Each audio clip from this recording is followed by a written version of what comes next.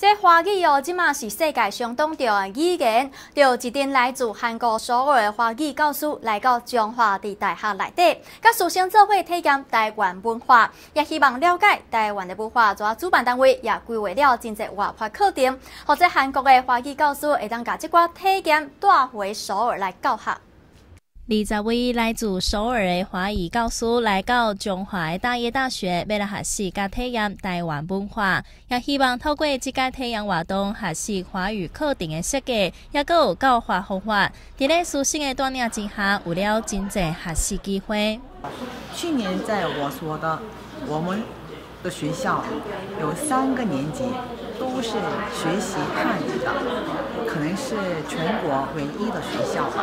但是最近在首尔一般初中学校教一个年级都是学习汉语。这么说来，在韩国学习汉语的初中生特别的多。大业大学国际语言中心的主任表示。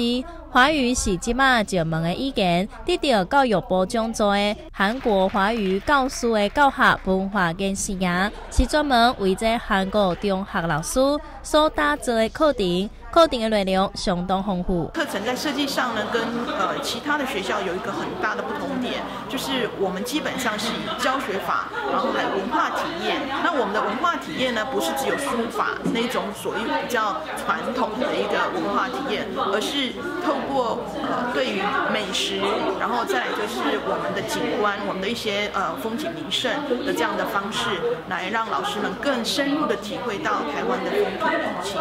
这个课程。那是理论甲课堂上的体验尔，课程也个规划了做中学理念，或者首尔来老师会当了解台湾的美食文化，也当到台湾知名景点，参像是在鹿港天后宫、甲日月潭等等的所在，真真正正熟悉台湾文化。